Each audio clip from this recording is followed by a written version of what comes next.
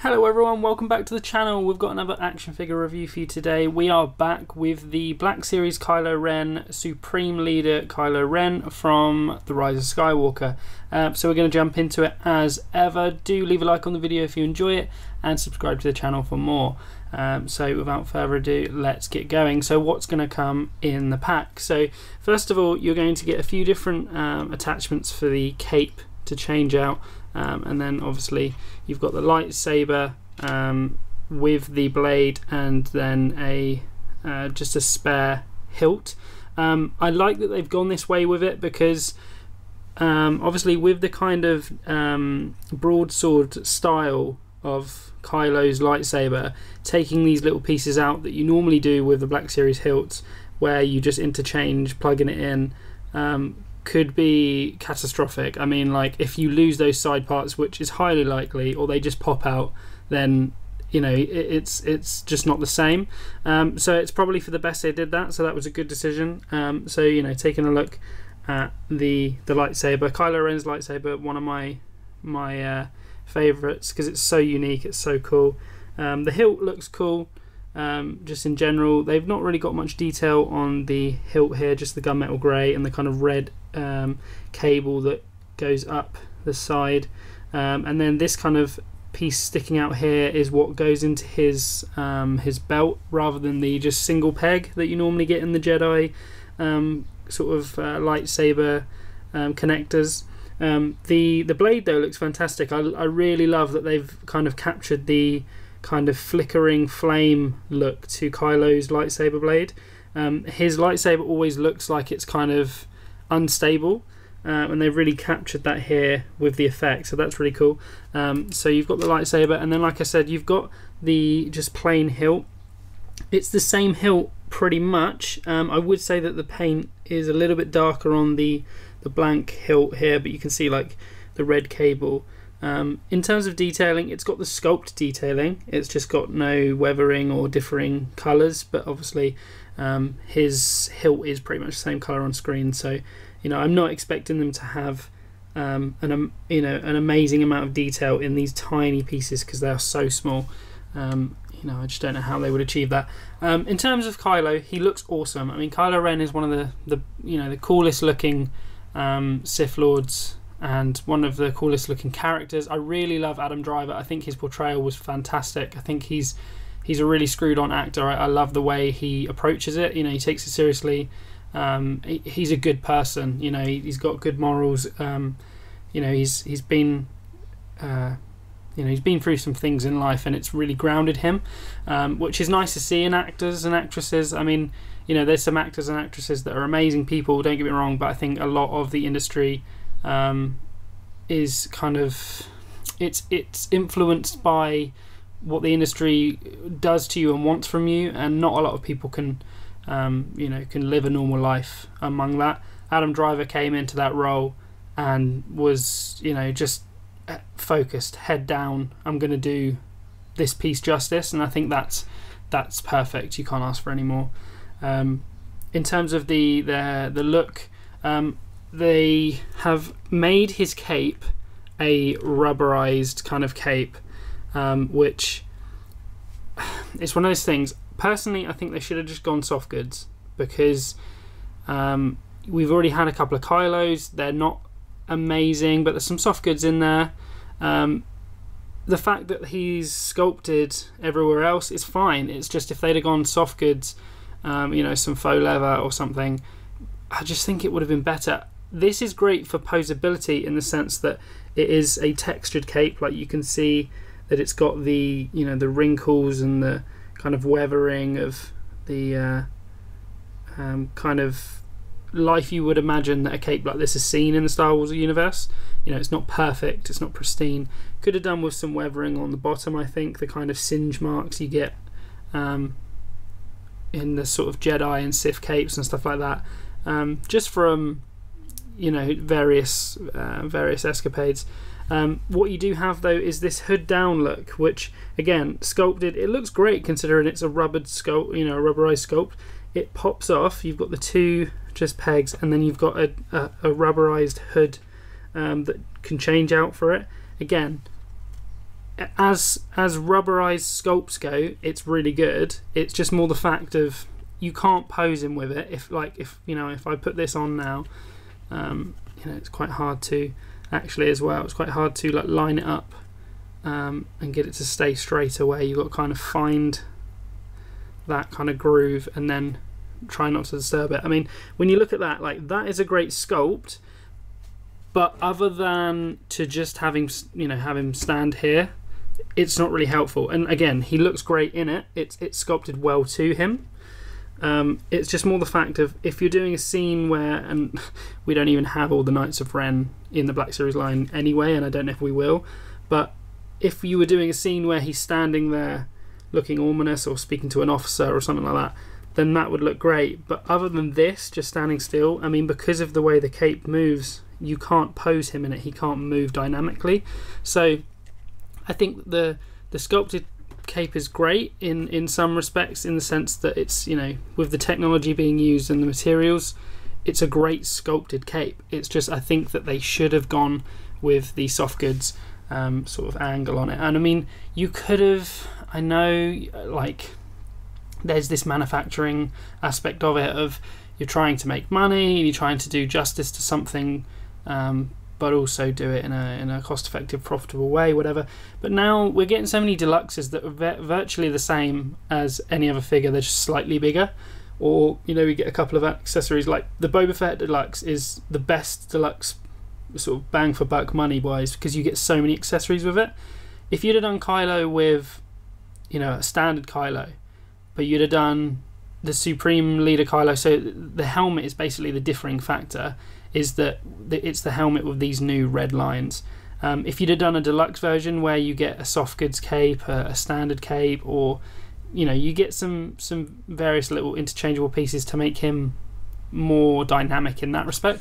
I, I would go for it. I, I wouldn't mind. I mean, this guy was hard hard to get your hands on if you didn't pre-order it, and um, that first wave kind of sold out pretty quick. I mean, I managed to pick him up recently, um, but uh, on the second-hand market, and I was looking out for him a while ago and just could never find him. I've never seen him in person, um, and I took a chance and uh, managed to to find him.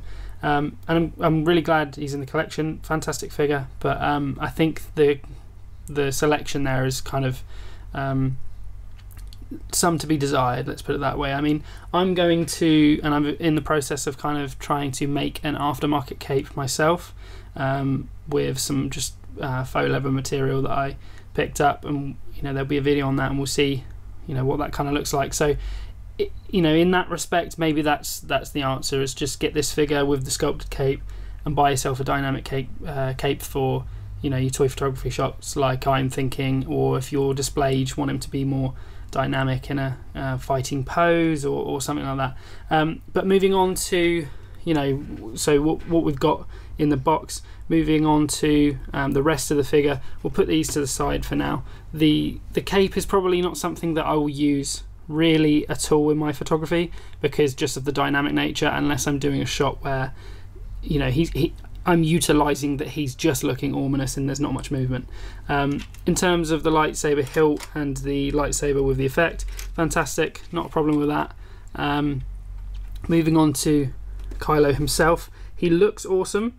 They've pretty much used uh, reused the body and stuff like that. The sculpting, I'm okay with that because his um, you know his outfit didn't change uh, virtually at all during the the uh, sequel uh, films, and he's got a, a good, just black, generic kind of look. You got the cross hatching of the material; it's all sculpted. Um, no soft goods, but I'm I'm fine with that. I mean, you've got the texture in there, like you see in the boots. Um, let's get that into focus for you. The boots and the trousers, the the top, the belt, the arm pieces, some stripes on there you know the kind of gloves and stuff like that. So in terms of the the rest of the figure, I'm I'm not too worried about that. I I kind of thought they would do that anyway. The helmet is where you know that's where the money is. Um, it looks absolutely fantastic. Supreme Leader Kylo Ren, where he had his helmet fixed, was one of the coolest things about um, that movie. And like seeing him with this helmet, I think is awesome. It kind of it really brought this helmet to kind of um, be in the same sphere as Darth Vader of like, oh okay, now he's you know now he's a Sith Lord. He's he's not just a, a an apprentice or a pretender or a, um, you know a, a child with you know have who has the odd tantrum. Um, but it, I mean, it looks fantastic. The actual design of his helmet anyway was good, but I really like the integration of where it was shattered and they used the the art. Um, it's a it's a Japanese art. I forget the name, but it's um, they used to do it with um, armor um, in ancient Japan, sort of um, sort of samurai armor, things like that. Um, and they've sort of encapsulated you know encapsulated that with this with the red, and it looks really good. yeah. So moving on to articulation. I mean, like Supreme Leader Kylo Ren looks fantastic. Got a lot of presence, um, but let's see what um, movement he's got in terms of at the feet. He's got a pretty fantastic toe point. It's seamless, really. Um, not much to budge. Got a very good toe point as well, so a really good start. Um, moving up to uh, the knees, you can see the double joint, and he will go up there. The tunic kind of um, will, will bend and move. But yeah, he's got a fantastic um, bit of leg articulation. Uh, the knee joint is is covered with kind of the trouser texture, so that's good. Um, but obviously, when you're doing a shot where his knee is exposed like that, you're not going to be able to hide that that joint. But that's kind of the nature of what we do. So in terms of toy photography, you can either um, you know you can be um, a wizard with the editing process, or you can just let it be. Um, uh, you know, unless you want to kind of hide it with certain angles, which is always a good thing, is to try and find angles which make the shot look more realistic and give it, you know, a, a dynamic feel that also help by kind of hiding any um, little joints and things like that um, that you might see uh, to keep it, um, you know, feeling real and and feeling like it's a uh, a glimpse at you know the real thing from the movie. Excuse me. Moving up, I mean, you've got this split tunic Sorry if I can get that to focus for you. Um, you've got that split tunic up here, and then it's not split at the back, so there is a little bit of, of uh, kind of give, but he won't go any further than that in terms of um, the split. His legs will, it's just more the fact that the tunic won't. Um, and you could do something about that again. I'm going to leave mine. Oh, God, itchy nose. Excuse me. Um, hay fever is not doing well. Um, you've got some pivoting in the thighs, if I can see that in focus. Um, so you've got some range there too, and he will go kind of forward back. He's got some good range of motion in the the hip area here. If I can get that into focus. It's just this tunic that kind of gets in the way, but for the most part, the leg's pretty good. Um, moving up to the waist, he will pivot um, at the waist, and then at the shoulders, he will get to 90 nice and easily and T-pose for you. Uh, look at that helmet, looks awesome. Um, the the shoulders though, the the torso just kind of overhangs, so you don't get the um, extension past 90 is, is is exactly stopped there.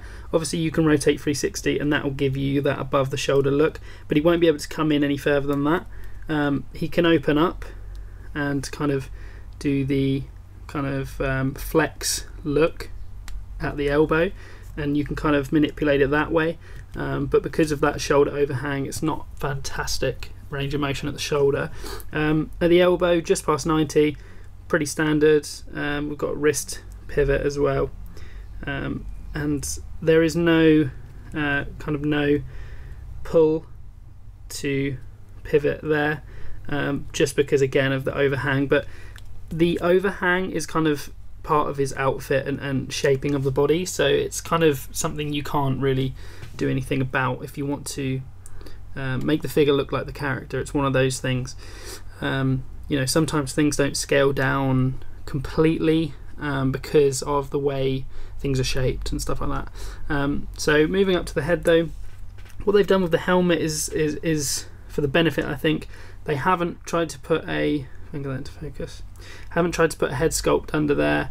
Um, they've left it kind of like the old school Empire Strikes Back Boba Fett, where it's like more of the uh, kind of bucket on the peg rather than on a head, uh, a head sculpt underneath. So you get some nice tilt side to side. You get 360, really good chin to chest, um, looking down, and then good looking up. Um, and you've got some waist pivot, so you can kind of do some things there. But because of that, um, that's some really good uh, articulation, and you've got that kind of tilt. It's kind of like what we talk about the Mandalorian figures and the Mandalorian TV series. When you've got a helmet, you have to be able to portray emotion uh, and kind of the feeling without seeing someone's face, and sometimes that's quite hard. Um, but to be able to sort of twist, you know, and diagonally sort of lean something um, can really give you like a, for example, like an inquisitive look. Um, you can be looking down on something, looking quite, you know, angry, looking up to something, and being quite, you know, inspired by that. There's all sorts of things you can do with kind of helmet tilt and placement. Um, so in terms of articulation, Kylo's pretty good.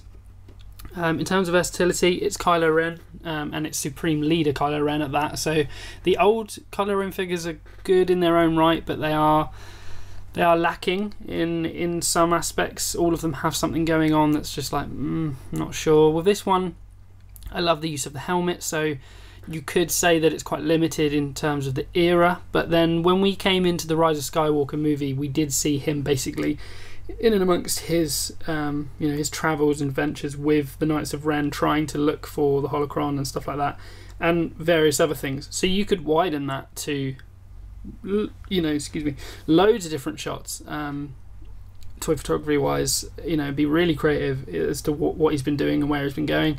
Um, in terms of a display, he's he's dynamic looking, and, and that's kind of where that cape will come in if you're just looking for presence. Um, but you know, he's a great looking figure and a great character. I mean, Adam Driver again, like I said, I think he was, he, you know, he was one of the the kind of saving graces of the sequel trilogy. Um, I think that he would have um, he would have fit into any of the eras of Star Wars. He just got it. Um, he's a very dedicated actor and a dedicated man. Um, so I, I would like to see more. I mean, I, I would imagine that Disney Plus are sort of toying with the the idea of um, you know a series about Kylo Ren and, and him coming up and the Knights of Ren, um, or you know what he was doing in between those those um, movies like we, we, were just discussing now, um, or even like a Ben Solo, you know, his childhood and and that sort of stuff, um, and kind of finding his way uh, to the Sith and how that happened. Um, again, it's one of those things where at, this, at the moment with the Disney kind of um, control of all the Star Wars stuff, you can't rule anything out. Um, at the same time, just because it's a great idea doesn't mean uh, it's going to happen. Um, you know, The Mandalorian, we didn't see it coming, but it was a great idea. It's it's been really well done, actually, to their credit. But I mean, it's one of those things where they can sell it, you know, um, and they would have to weigh up, um, you know, what what what they trying to achieve here. Um, I would certainly watch it because it's a Star Wars content, but I think I would just be also I'm just interested in in uh, Adam Driver's portrayal of um, Kylo and, and, and Ben Solo at that. Um, so yeah, I think it's uh, it's a figure worth picking up because it's it's the best of the Kylo Rens um, in my opinion, um, and it's not going to be around for, for long. I would imagine. I'm sure down the line there'll be carbonized versions and all because that you know Hasbro work with um, all sorts of um, brands and companies, and, and nothing is ever truly the last release of something. Really, um, you know, we've seen the archive wave this year that has just kind of come back, which you know I'm thankful for because I wasn't collecting when that came out, and also it's you know it's been released now where the standards are higher and capabilities are higher as well. Um, so you know, uh, might be worth a pickup um, if you don't if you, you don't want to wait. Um, but uh, I definitely think that it's it's a good addition to the collection, and I'm glad to have it. Uh, in terms of a score, the articulations it's it's okay. Um, the look of the figure's awesome. The accessories, lightsabers are cool. I think this the cape, the sculpted cape is is good, but it could have been better. I think they could have gone the route of um, soft goods, even if they'd have combined soft goods with the rubber to make the bottom flow maybe and make the top sculpted and stuff like that. Um, but who knows? Um, so I'm going to give him an eight out of ten. Uh, I love the character, um, but I just think that the uh, the the figure is is great, but it just leaves some to be desired. So maybe in the future we'll get um, a variant of, of Supreme Leader Kylo Ren. So um, I hope you enjoyed this video, guys, and I hope it was informative. Do leave a comment if you have any questions, and do leave a like and subscribe to the channel, as mentioned, uh, for plenty of content to come. So, as always, guys, I'm going to leave you with that one. Take care, and I'll see you in the next one.